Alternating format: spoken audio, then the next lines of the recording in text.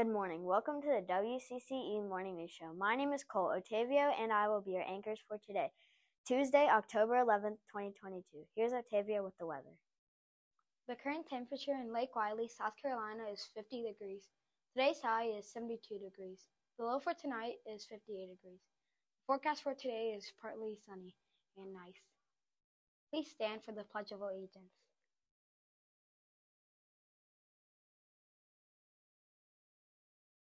I pledge allegiance to the flag of the United States of America and to the republic for which it stands, one nation, under God, indivisible, with liberty and justice for all.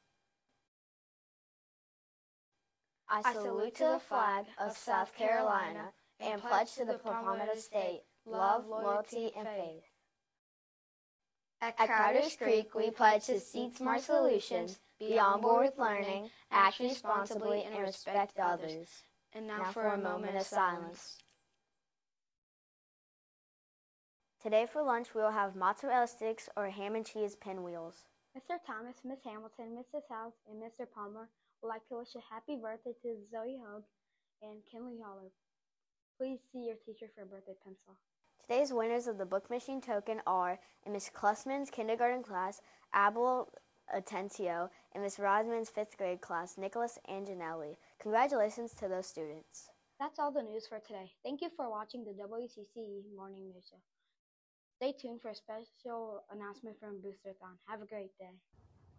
Good morning, Crowders Creek Elementary students. This is your principal, Mr. Thomas, with your Boosterthon update. So far, we have raised $41,854, and we are so close to our goal of $50,000. So keep getting those donations. Tonight's nightly challenge is the 50 States Challenge. If we get a donation from all 50 states, then you will see me having a silly string fight with somebody of my choosing. So make sure that you get those donations in so we can have that silly string party. Have a great day. Good morning, students. You know how we're gonna get started with that Grandland Adventure Cheer, but today I wanna see you do it as fast as you can. So get ready, warm up the arms, get the wiggles out on the count of three. Ready? One, two, three. Grand Land Adventure. Wow, that was so fast. Okay, today guys, we're gonna tune in and learn all about grit and perseverance, which is going without giving up. So excited to see how you guys are gonna persevere this week and maybe next week at your fun run. All right, friends, remember, we have a school goal of reaching $50,000 for school beautification and recess equipment. So let's see how you're doing in helping your school. If you're ready, point to the screen and say, I'm ready. Great job, students. We'll see you tomorrow, but for now, this is Booster out.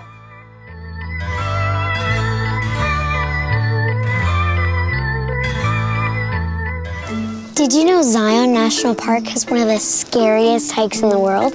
Of course. Why do you think they call it Angel's Landing? Wait, I thought you were afraid of heights. Oh, I'm terrified, but it doesn't mean a guy can't dream. Millions of years ago, when dinosaurs still roamed the earth, the Virgin River started wreaking havoc on southwestern Utah. Today, the canyons and cliffs it left behind form one of the most incredible places on Earth Zion National Park. Each year, over 4 million visitors come to explore the park's gorgeous sandstone cliffs, narrow slot canyons, and cascading waterfalls. For over 6,000 years, small groups of Native Americans lived in the area, including the Southern Paiute tribe. As early Americans began settling in the region, President William Howard Taft named the area a national monument to protect the canyon. In 1919, Congress redesignated the area as Zion National Park.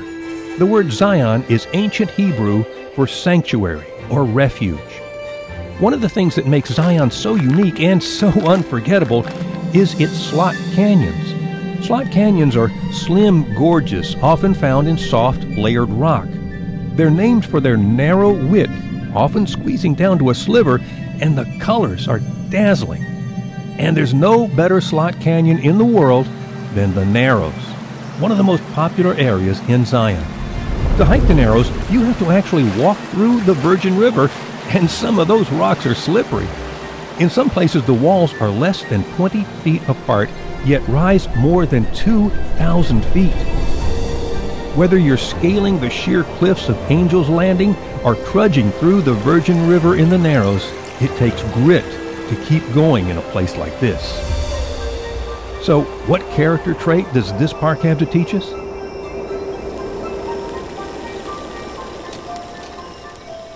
Well, what trait do you think Zion has to teach us? Always bring an extra pair of socks? Grandpa said Zion brings something out of you.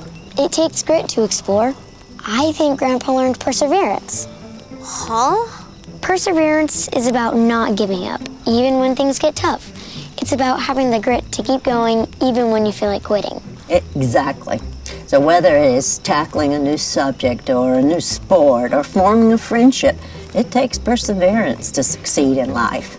The next time you feel tempted to quit something, challenge yourself to keep going. So Zion taught Grandpa how to live with perseverance. Cool. Can smell the treasure. We're getting close. I wonder what park we get to visit next.